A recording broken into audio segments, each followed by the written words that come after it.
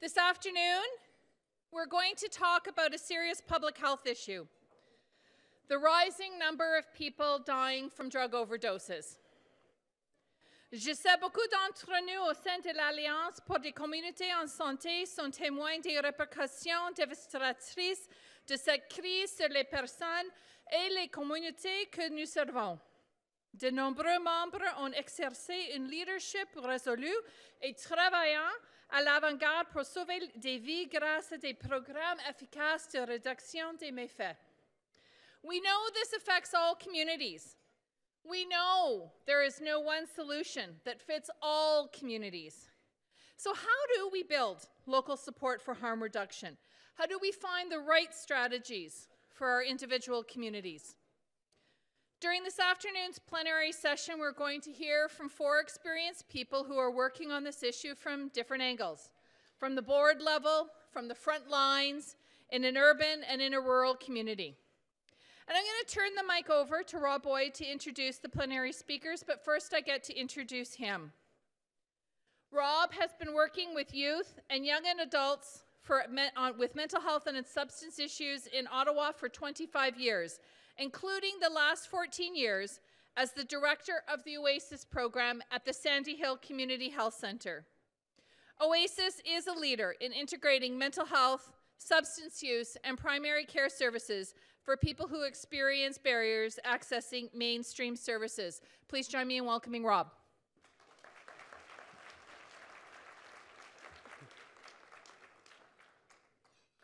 Good morning, or sorry, good afternoon.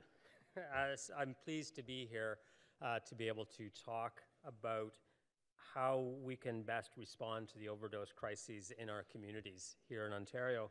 Uh, so I'm going to start by introducing uh, three colleagues who are also going to have an opportunity to come to the uh, mic to address you from their perspectives, and then we will have uh, provide ample time to open up the floor for questions so you have an opportunity to uh, ask us about uh, some of our experience. So first of all, right across from my from left to right, it's Frank Crichlow. He has been a harm reduction worker for 12 years with the COUNTERfit harm reduction program at South Riverdale Community Health Center in Toronto, uh, where he provides harm reduction education, uh, referrals, and distribution. He's a member of the Drug Policy Committee of the Toronto Drug Strategy at Toronto Public Health, and he is the chair of the Toronto Drug Users Union. Uh, he volunteers at the Moss Park Overdose Prevention Site.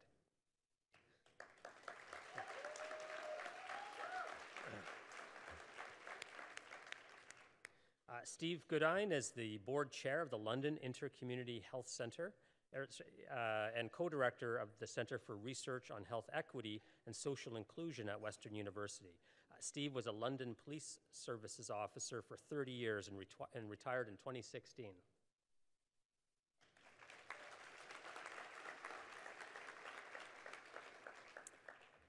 Jackie Harris is a primary care manager at Central Community Health Center in St. Thomas and co chair of the Elgin Situation Table. She's a registered nurse who has worked in emergency rooms in the Mississippi, Detroit, London, and St. Thomas areas. Uh, she was the lead at the Elgin Street St. Thomas Public Health Unit for the area's needle exchange program. And uh, Jackie also uh, works at the overdose prevention site in London as well. Or, pardon me, in London, yes, in London.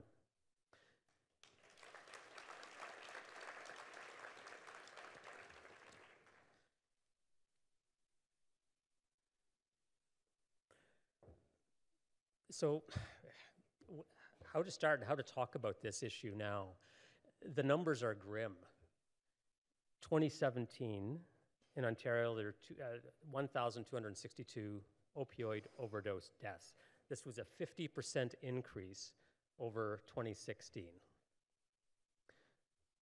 Fentanyl was detected in 60% of opioid overdose deaths in 2017, which was a 100% increase over the year before. The crisis is escalating, and we're only at the beginning. We're also poised at a critical moment. Uh, we are facing a drug safety crisis like the likes of which has never been seen in the world. We have a toxic supply of drugs that are out there in the unregulated market that are increasing the harms associated uh, with the use of opioids, both Uh, dependently and recreationally. And the solution is really simple. We really need to always name what the solution is. We have to properly name what the problem is as well. We're, we're not in the midst of an opiate crisis, we're in the midst of a drug policy crisis. What we need to do is we need to legalize and regulate access to all drugs in Canada. And we need to ensure.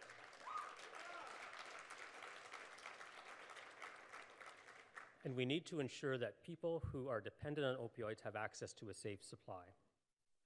Today, we're talking about harm reduction, and it's really critical that we understand that harm reduction isn't about preventing the harms of drug use, it's about preventing the harms of drug policy. And most of what we're doing is a workaround for drug policy. Uh, and this means more than just changing the laws around, uh, around drugs, because prohibition kind of creeps into all sorts of different areas of our thinking. Uh, so this also uh, means, you know, the, the government's announcing, uh, you know, new funding for addictions and mental health uh, treatment services. We need to make sure that these services are evidence based, and we know that abstinence only treatment are, is a form of prohibition. Uh, forced opioid tapering is a form of prohibition, so we have to be uh, very vigilant about how prohibition creeps into other aspects of how we think about drugs and drug use. And these are deadly practices that are contributing to the escalating crisis. There's an air of dread uncertainty in harm reduction in Ontario right now we're, the gains that we have made over the past few years have been significant. It's quite remarkable uh, to think about how far we've come in a short period of time in terms of mainstreaming harm reduction and, and providing general acceptance in the, in the population of what good evidence-based uh, care for people who use drugs is. Uh, but this is this is under threat. We need to we need to be wary of this. This battle is starting all over again. We felt like we just finished it, and uh, unfortunately, the timing of this couldn't be worse. Uh, with the escalating number of overdoses that are happening, and the fact that we, we don't have really good established systems in place uh, to, uh, to mitigate the harms that are coming uh, to Ontarians right now. So what can we do? What can we do going forward right now? So we, we, we're now at a point where we're often thinking of, because of the crisis, uh, let's talk about uh, supervised consumption sites and things like that. But there's lots of other things that are part of harm reduction uh, that I think that as CHCs, uh, we, if, you, if you're not already doing it, you want to be thinking about doing it. You want to get, uh, get, get action on, on it. So, you know, what are other things that you can do? Are you currently distributing take-home naloxone kits? Are you currently distributing uh, needles and pipes? Are you currently uh, providing uh, buprenorphine, naloxone, or, or uh, um, uh, Suboxone treatment within your agency. There, there, there's a role for CHCs in this, despite uh, what government is in place. There are opportunities that for, for movement that, that you can uh, start addressing right away as you, as you think about how you are getting involved in the crisis. I think about those old war uh, promotion calendars. You know, what did you do during the war, Daddy? You know, those, those, those posters that were out. I think that people are going to ask us, what did you do during the drug war? What did you do to resist what was clearly a, a violation of people's rights and, and, and, and that was really geared towards actually, uh, uh, you know, literally killing people in terms of drug policy uh, based on uh, propaganda and misinformation.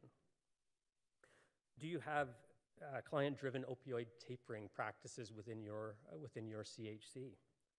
And then, of course, what about SIS and overdose prevention sites? Pardon me, supervised injection services or consumption services and overdose prevention sites. Don't wait. Just because we don't think that this government is going to be supportive of it is no reason not to get active and involved in conversations about uh, supervised injection services or overdose prevention sites in your community. Those conversations, in and of themselves, provide a tremendous uh, opportunity for education of your local community uh, about the needs and the crisis that's going on. And that can definitely shift the ground in terms of political, uh, politi political opinion. Resist and get creative. Last year, uh, when I was up talking on one of these panels, I talked about microsites. You know, we know we need to stop thinking about large, large sites and services. Let's start thinking about something a little bit smaller. What can you do in your CHC with your existing resources to support uh, supervised consumption of, of drugs in your facility? Uh, what can we do with the access to uh, take-home naloxone programs to support peer-led uh, supervised injection or overdose prevention activities. We have to really start thinking uh, about how we're going to provide resistance within this new political context that we're working in. How do we have these conversations? What, what's important when we're talking to our to our communities about this? It's really important to to to keep it focused on health. This is a healthcare issue. We did not get involved in this issue to become political. We got involved in this issue because it was providing good health care for people that were within our mandate. That's why we got involved. The politics was something that just came along with it. Uh, this is a crisis. We have to keep telling people and keep reminding people this is a crisis and it's going to get worse. And the policies that are being and that are likely to be enacted, or the, a lot of the policies that are currently en- enacted, are policies that are contributing and amplifying the harm to people we need to give our community, we need to invite people into the conversation. We need to, to be able to, to talk to people in a way that they're not going to feel judged. Uh, people, na- people have grown up with drug war propaganda all their lives. It's a natural attitude that people have that drugs are bad and therefore people who use them you know, should know better and things like that. We, that. That's a lot of swimming upstream we have to do, but we have to have that education. We have to invite people in. We have to allow them to express the things that they need to express in a non judgmental way. And then we need to give them correct information and wait. And we don't have to convince everybody. No, you know, and everybody doesn't have to get on board, but our experience is that when you do that in a respectful way, you bring people into the conversation that, in fact, uh, people by and large do get it. You got to think in the short term and in the long term. You got to think about, uh, you know, what you can do today, and you got to also have the long game in mind. I mean, it took us seven years to get supervised injection services uh, going in our center. That's sometimes that's how long ahead you got to think when, you, when you're involved in doing social change of this scale, uh, there's three things you have to have as, as you, in your toolkit. You have to have facts, you have to have empathy, and you have to have perseverance. Thank you.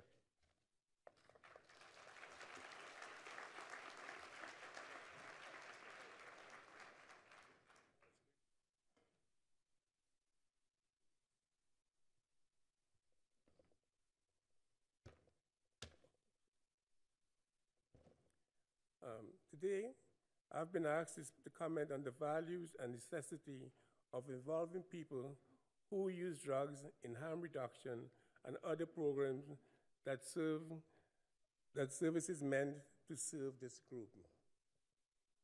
People who use drugs have been taking care of each other for decades.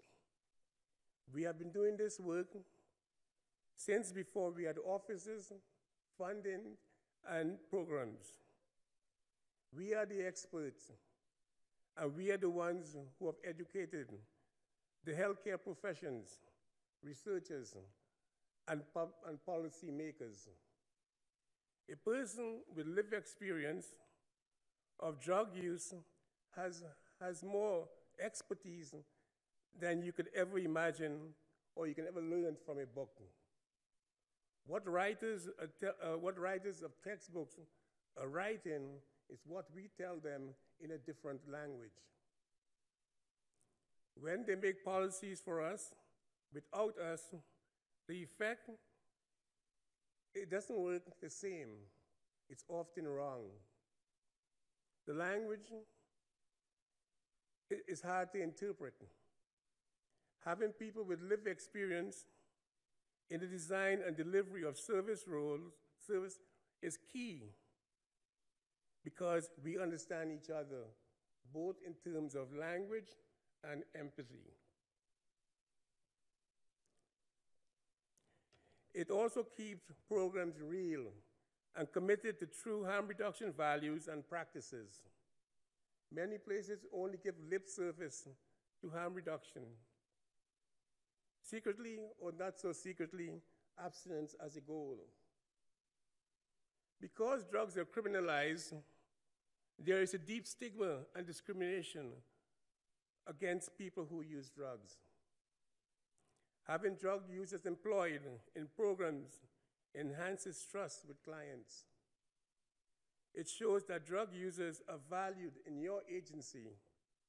This is critical because so many people who use drugs are treated very poorly by the health and social service system, especially women and racialized people. The stigma around drug use in the black community is very high. especially for women who have kids.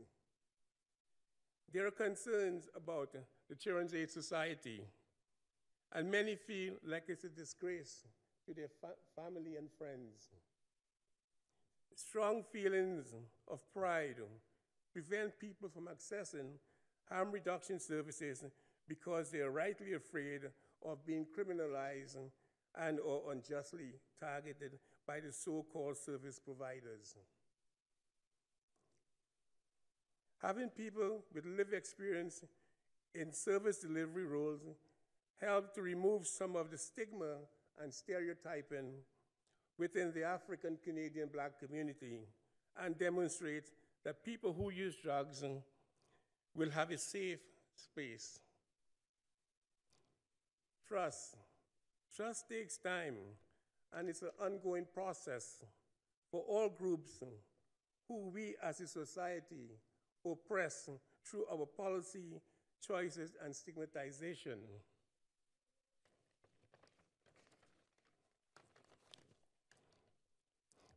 For example, even our established harm reduction clients at South Riverdale, we still had to build trust again for the new supervised consumption site so we could so they would feel comfortable with being able to use openly and without fear of judgment or arrest. The safe injection site staff with lived experience of drug use were key to making people feel comfortable.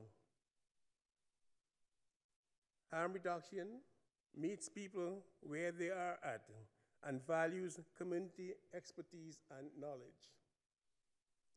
Harm reduction doesn't simply mean service provision. It also means ensuring voices of current and former people who use drugs are heard and are front and central when the government makes public policy. As part of that work, I'm a board member for the Canadian Association of People Who Use Drugs for the Ontario region. CAPUD is a national drug users union focused on increasing the human rights of people who use drugs. We are activists, first and foremost, fighting for our lives during an overdose epidemic. We rallies, we use rallies and political demonstration to ensure our voice is heard. Our board of directors is made up of current and former people who use drugs. CAPUD has grown over the years by being attentive to issues raised by our membership. When we started this work, CAPUD had no input into policy decisions made by the federal government that impacted us. As a result, drug policies were made in our exclusion, and the, and the results were deadly. For example, take the Oxycontin reformulation. Removing this drug without any thought for people who are using it led many more to use heroin and fentanyl. As a result, overdose deaths have increased staggeringly.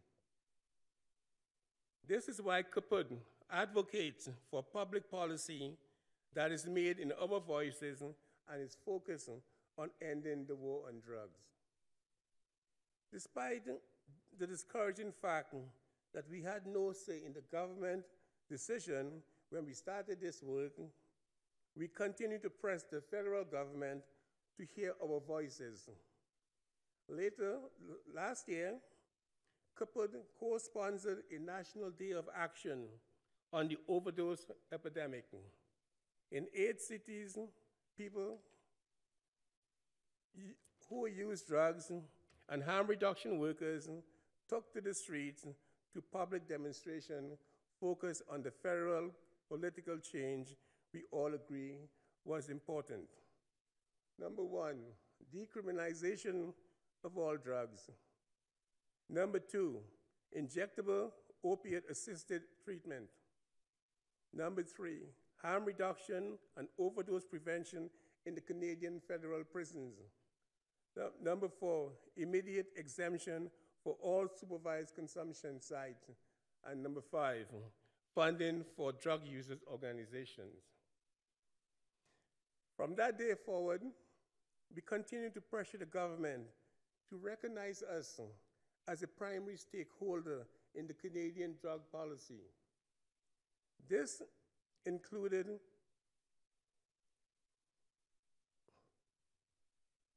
This included a powerful demonstration at the, at the International Harm Reduction Conference in Montreal last year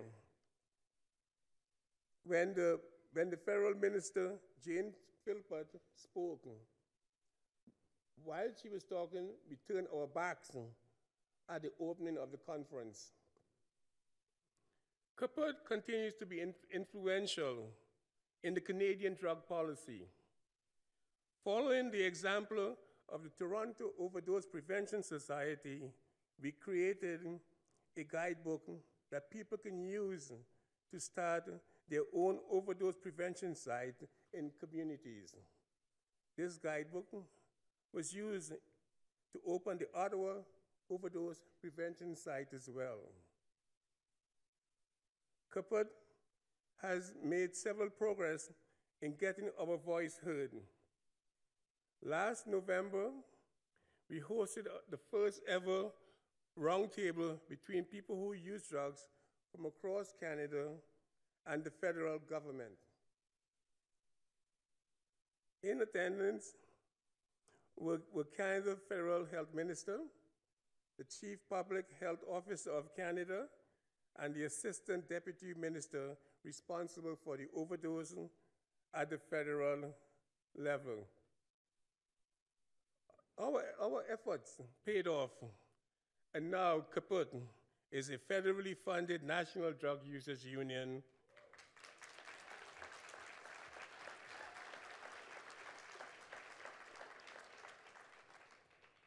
Before the federal government would likely question why we need to be involved in decision making. CAPUD has been, in, has been influential in efforts to expand access to safer opioid drug, including injectable opioid assisted, assisted treatment in British Columbia. In all its advocacy, CAPUD work, works to ensure principles of harm reductions are upheld.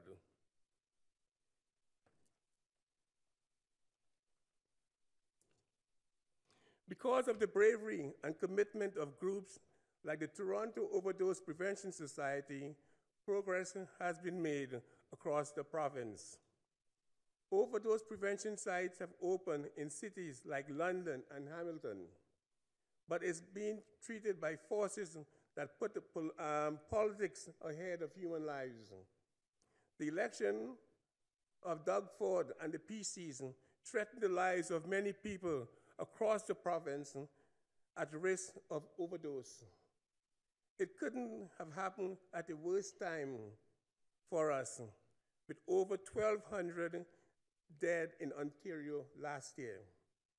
It is likely even more people will die needlessly this year. There are many lives at stake, and the street drug supply is increasingly dangerous. Now, perhaps more than ever in this province, lives of people who use drugs are being are used as political soapbox for misguided politicians. When the drug supply is poisoned, harm reduction is a human right. In closing,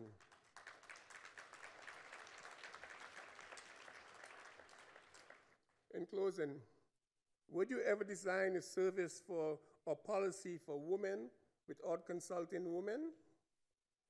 Would you? The same principle should apply to people who use drugs. Nothing for us without us. This is a harm reduction principle which is critical in developing and delivering harm reduction programs and services. Harm reduction found me And now I am able to support others as a harm reduction worker in an environment that respects, trusts, and supports who I am and what I do as I reach out to service users every day because I've been there. Thank you.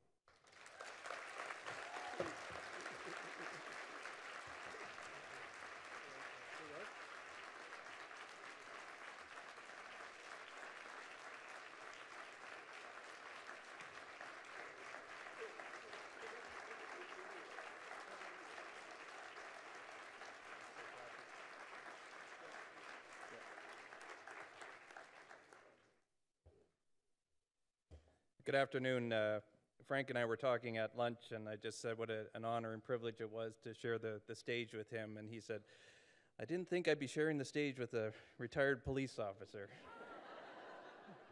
but thank, thank you, Frank. and talking about drugs, that was the other piece. So I'm here to, uh, to speak to you about the, uh, the London experience, uh, both as a, as a board member and, uh, and as a police officer, retired police officer. Uh, so, learning about the effects of trauma and violence in uh, young men uh, is something that happened early in my policing career.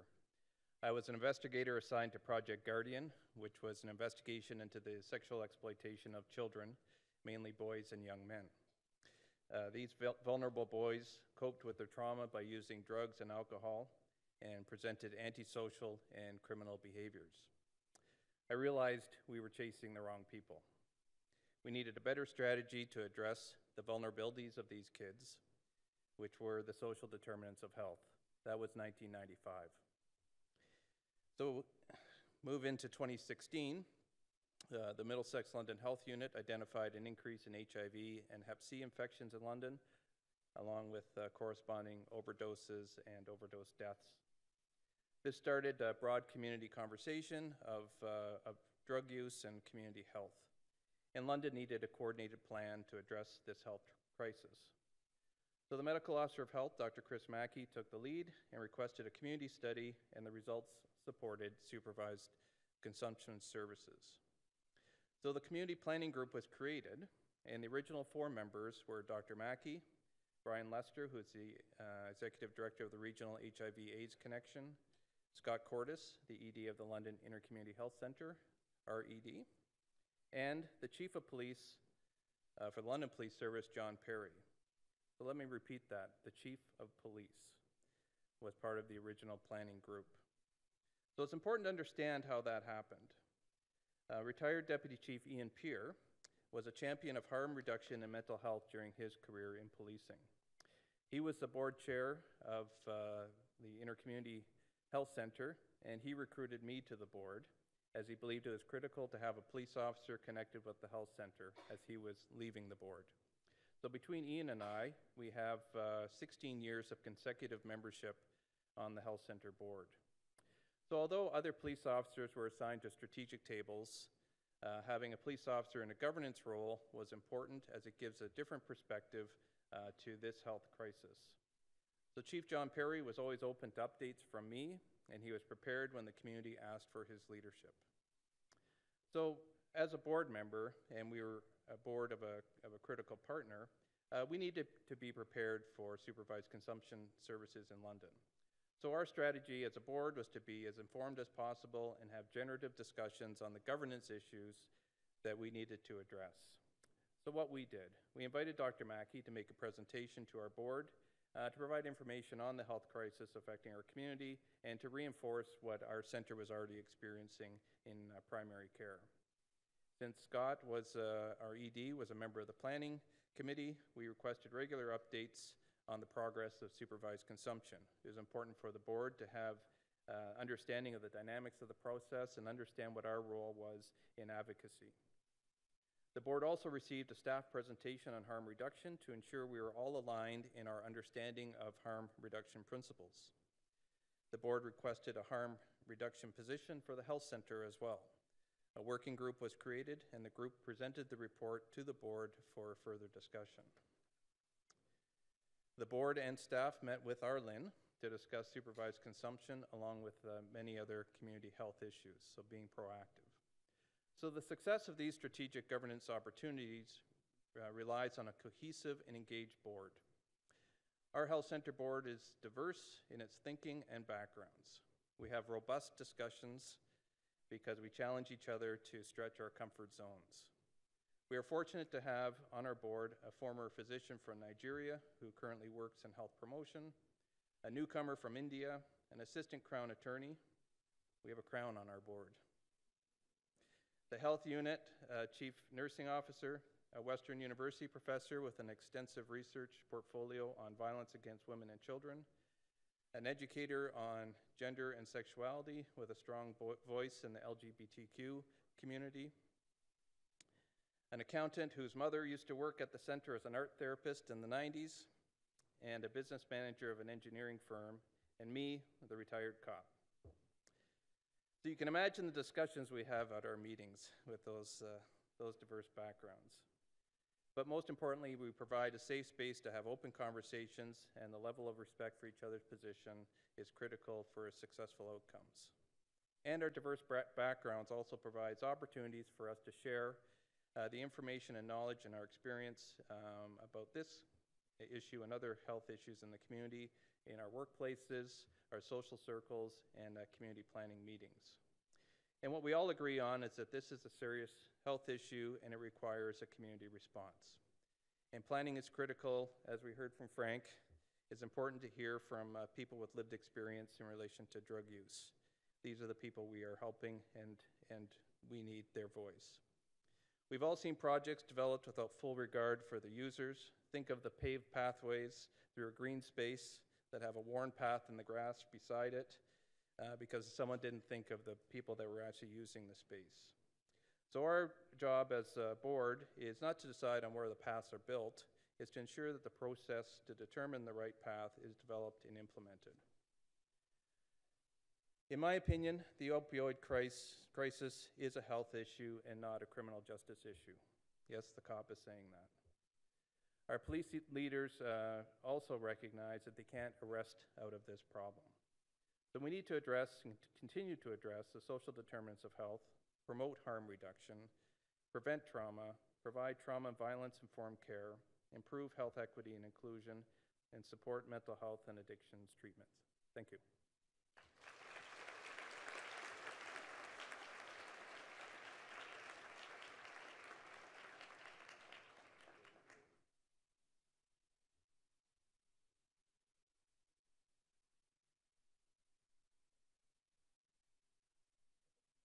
Okay, so I'm from Elgin County, and I don't know if anyone here knows where that is. So we're about 20 minutes south of London, and we border Lake Erie. So some of you might know us because um, in St. Thomas, we killed Jumbo many years ago. Port Stanley is a tourist town, and Port Bruce was where the bridge collapsed with the dump truck on it. Just to give you that perspective. My disclaimer, though, is I have seven minutes to talk about harm reduction, church, syphilis, and politics. So hold on. So, as far as urban versus rural, which is a word I can't say, I don't know if I said it right. Um, so, you can imagine if you were living in a community that actually it took you an hour to cross from end to end, it takes me about 30 minutes. Andy, how long does it take you to get from end to end? An hour? Okay. Okay, takes me, I'll say 45 minutes to get from end to end. And there's only, there was only at the time in 2013 one needle exchange program in the community, and that was in the center in St. Thomas. So could you imagine accessing that service, which had limited hours, transportation barriers, and even in St. Thomas, there's transportation barriers. We have a bus, and it runs until 7 o'clock, and that's it. So you're accessing a service where people know you, and everybody knows your business because your, no, your neighbors are nosy. And I have an example that I grew up in Port Stanley in my high school years, and people used to call my parents to tell them what I was doing. So my parents always knew what I was doing. So I don't know if you guys have that experience growing up in a small community. So the fear of accessing the services, you're disclosing that you have a drug habit or you use drugs, and there's an automatic stigma and judgment when you go to, to access these services. So often people won't go to them, or they would go to London or maybe Chatham, Kent to access services elsewhere. But keep in mind the people that do not have transportation to access these services. I forgot I'm advancing the slide.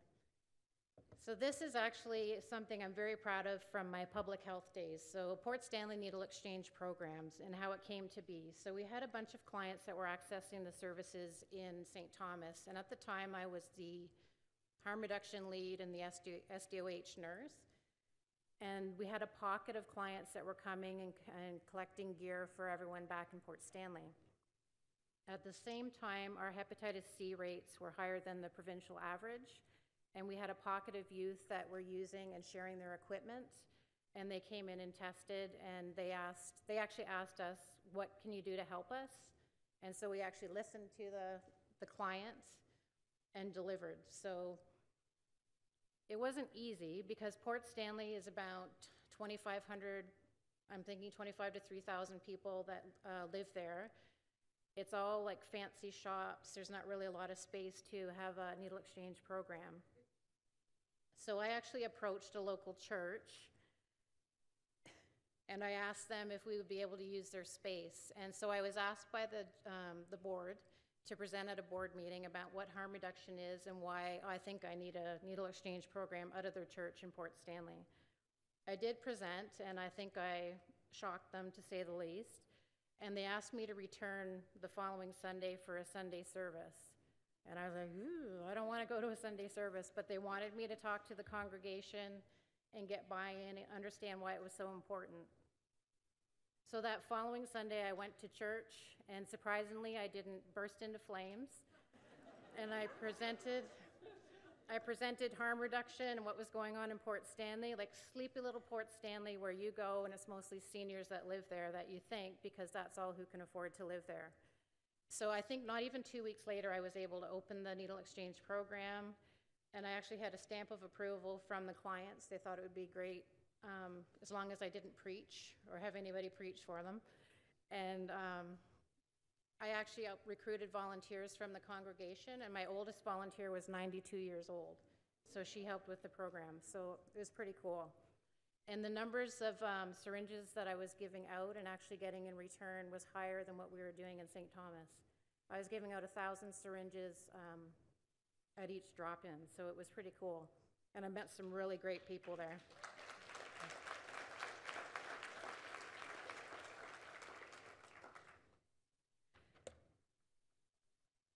They also, another ask was that they, they wanted other services there. So for my sexual health background, I offered pregnancy testing, STI testing, and treatment. So that's where the syphilis piece comes into play. So I had a client that I tested, and her results came back that she had syphilis, and she had transportation barriers and wasn't able to access St. Thomas to get her injections. So I just put it in a bag and took it to the church, and we didn't have an exam room. So I'm thinking, how's this poor girl going to get these injections? I don't know if any of you have seen the needle that you get, a few needles for a syphilis treatment. And so we thought, where are we going to go? So I took her into the sanctuary, and we used a church pew as an exam bed, and I treated her syphilis. So.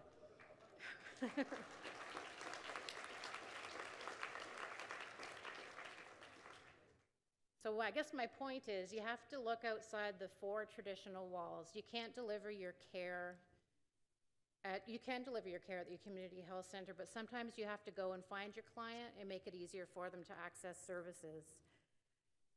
And the other thing I would warn is you have to be prepared for the negative feedback from the community because the article, the newspaper article, when they caught wind that the church was allowing such horrible things to happen, it was unbelievable. But the church stood up for, for me and said it was the Christian thing to do and that they wouldn't back down, they were going to do it. And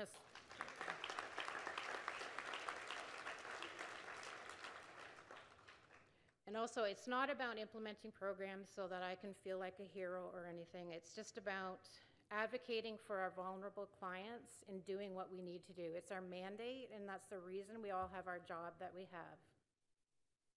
So that's my Port Stanley. I love my Port Stanley story. So right now in St. Thomas, these are some headlines that we pulled off that's happening. So I'm going to try to be politically correct. I can see my boss out in the audience, and I'm going to try to be good. So, okay. Okay, so in St. Thomas right now, the library and the city are upset that clients are using drugs in their bathrooms. They've locked the doors. They're complaining about improperly discarded sharps. And the only response so far has been locking down um, public bathrooms in the downtown core. So basically, we've pushed people onto the street, so they're using in doorways, in alleys, in fast food restaurants. But they're not willing to take on like a community sharps kiosk, like they're not willing to place the kiosks throughout the city to um, accept the, um, the needles. So there's been a huge debate at city about cost and no one wanting to really pay for it. They want, they want somebody to solve the problem, but they don't want to be part of the solution. And meanwhile, we did have a, a small child that was actually stuck by a needle in the northern part of the city. So it's happening, and our Parks and Recs people are saying that when they're cleaning the flower beds or flower pots, they're finding used gear in the, in the downtown area and throughout St. Thomas. The only bylaw there, or anything that's happened from this, and I laugh at this because they have a new bylaw that if you find a syringe in the garbage or beside the garbage, they just won't pick it up. That's their new bylaw. so I'm like, yeah, no, good job. So I, I think I'm going to cover your ears, Judith. I'm actually going to place some syringes by the city hall's garbage and see if they'll pick up their own garbage. Well, we'll see what happens.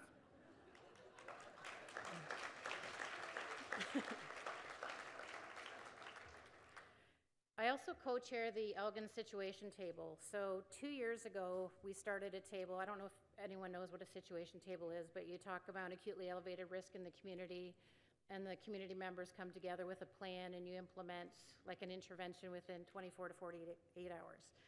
So basically, um, since I've been at that table, we had a discussion about a drug strategy and the need for one for our county, because right now we currently do not have a drug strategy. I don't know if there's anyone else, else out here without a drug strategy for their community.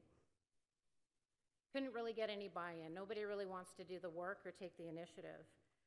So after two years of hearing me, I know you used the word, sorry, hear me bitch about the not having a drug strategy, people are starting to say, hey, yeah, we really need one because most of the situations we have involve drugs. So it's been frustrating and it's taken time to trust one another at the table, but I'm continuing to be persistent. I also belong, I just have to have water because when I'm nervous, I drive a dry mouth.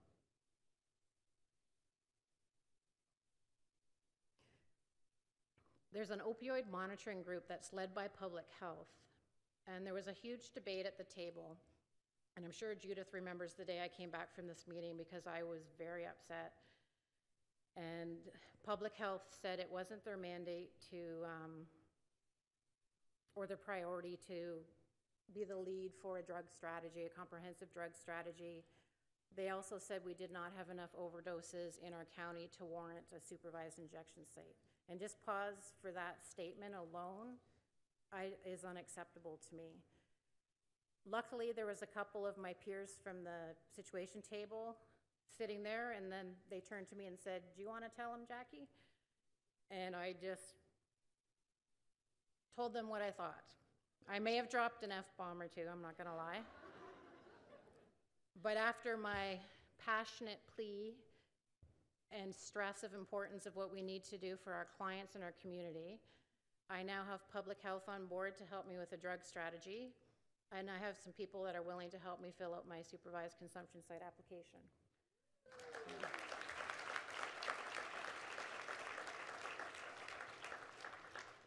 So with Central Community Health Center's support, I've taken the lead to, um, for the first steps for a drug strategy. And I'm actually having brainstorming sessions on June 27th. So I'm just going to do it myself. And we don't have funding for that. So don't always think that money is what's going to keep you from doing something. Keep going ahead.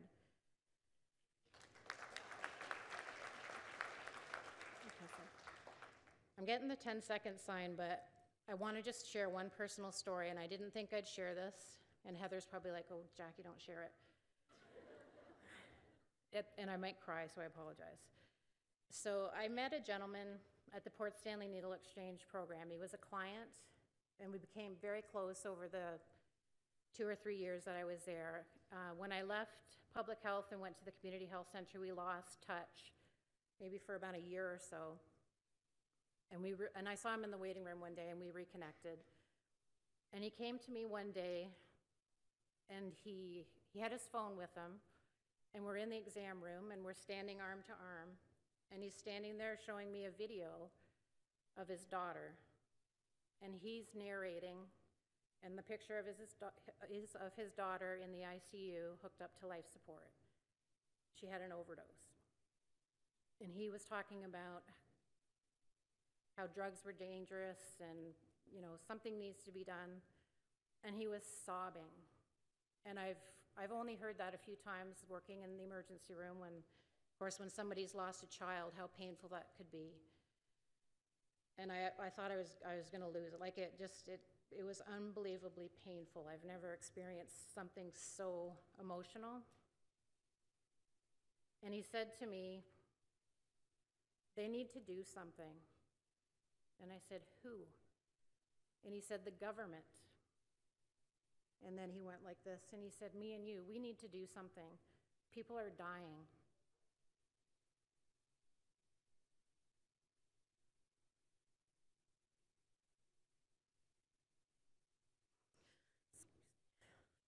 Two weeks later, he died. Sorry. So be the change. Don't be afraid to speak up. You might ruffle feathers, but everyone needs to advocate for our clients and drive change. Thank you.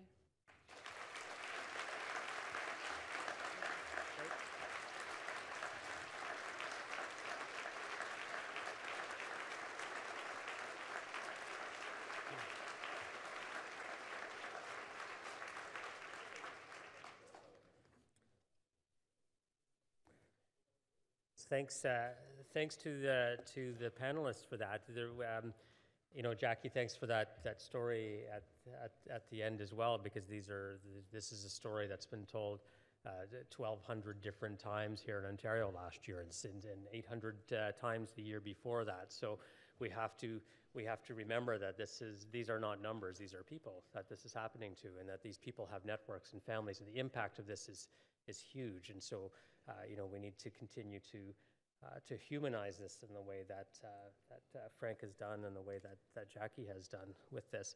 We now have an opportunity for you to ask us questions as well. I'd ask that you do go to the mic so everybody can hear, or so we can hear your questions. Uh, so uh, just make your way there if you've got anything. Um, but I'm, I'm just um, I'm curious. I'm Jackie. I'm curious. Um, we do have members here quite wide range of urban, rural uh, folks here, northern communities. And a lot of us are kind of dealing with this issue of overprescription of opioids and having practices that are created or inherited with these high morphine equivalent doses. How did, you, how did uh, your CHC deal with these issues in, in a kind of a small community like, like St. Thomas? My heart's still pounding from my last six years. Um, in 2015, we had a huge number of intakes of, clients that we've kind of inherited because we had a number of physicians that retired and we had two or three physicians that passed away and a lot of them were on large amounts of controlled substances. Some of them were even on lethal amounts. So we were kind of, and also at the same time we went through, like I'm sure everyone goes through, we had a lot of physicians that left and we were left with only a 0.5 physician and three nurse practitioners. So we had to come together as a team and look externally to see who we could pull in to help us with the team. So we, um, we asked Addiction Services, we had the doctor from the methadone clinic, we had a Suboxone rep. Um, I'm drawing a total blank of who we've called, but we had a huge group of um, service providers that came to help us. So what we did was we pulled a team together internally also with our social workers and our physio, and we talked about um, doing comprehensive pain assessments. We talked about weaning or tapering. We talked about referrals for methadone, Suboxone, but some clients legitimately needed their prescriptions. So we always involved the client within that discussion and made sure we were doing what was best for the client and for the provider. I know we did, um, we did piss off a lot of people and they left. And some of them came back and some of them, some of them didn't. So the important thing though is though you can't have a cookie cutter approach to how to deal with the overprescribing. So every, every client's gonna be different and I think every agency is gonna be different. But reach out to your peers. Like I know we have a great group of the Southwest Regional Management Group that meets and often we just reach out to one another and ask for advice on something and we try to implement it. Yeah, a lot of, a lot of, uh, of physicians and things that I had heard was that they, they felt that there was a mandate to get people down off these drugs, but, uh, but there was very clear direction from the college not to destabilize people. Right. And because what was happening, of course, is that people were shifting into the unregulated market, and we've seen what the results of, of that is with the uh, increase in overdoses. Um, also, uh, Steve, so glad that you were able to make it. Uh, this is, I don't think this is the first time that Frank has been followed by a cop. I, and the it was it was so uh, refreshing for me to hear you talking about this, given the experience that we had in Ottawa in terms of trying to to gain some some of that support from the police. So I'm just wondering what insights you might have about building some of these uh, partnerships with the, the, the unusual suspects. I mean, the police is a pretty powerful lobby if we could get them on board. Uh, Absolutely, Rob, and um, in the, the London experience, as I said about being proactive, uh, uh, Dr. Mackie requested a, a meeting with the police leader, and I really recommend that as whoever the police leader is in your area, um, make connections with them. And uh, he brought a, a couple of community members, uh, social justice uh, activists, um, and I shouldn't say activists, really promoters, because that's, that's what we needed. And, um, and one of those members then became a, a member of the Police Services Board and is actually the chair. so, so the community voices matter, and getting out there and, uh, and making those connections with the, with the police. The, the one thing is from legislation is that the uh, Safer Ontario uh, Act was enacted in March of this year, and one of the components is a uh, community safety and well-being plan that's a requirement of the municipality, region, um, and has to be uh, developed with the, with the police and community members. So this is an opportunity for community, and it's prescribed that community health and, and community services are at that table. So um, making that plan, which is an annual plan to be reviewed, is a real opportunity to, uh, to connect with, with the police because you know they will be at, at that table along with situational tables and, and others. Uh, but the governance role is really an important thing, and I know I, I talked about the 16 years of, of uh, police membership on, uh, on our, our health center board, uh, but that's important. It, make those connections, make those uh, inform uh, the allies. I can tell you that police, as being the first responders, they're looking for ways to, um, to partner with, with the community to find other ways of, of responding because the, the police response is not the way to, to, to resolve this. So it is making those connections, being on the, being part of the governance, being part of the planning, and, uh, and, and even this, this, uh, this new act uh, allows that and sort of forces that for the community to have that well-being plan.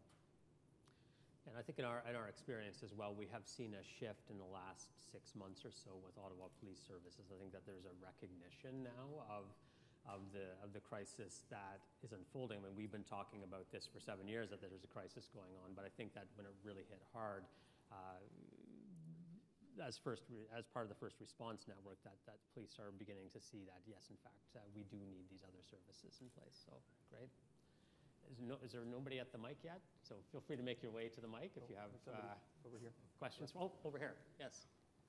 Um, despite the epidemic and despite the growing problem that we have, the only winner seems to be the pharmaceutical company that is actually fabricating fentanyl and so on and so forth.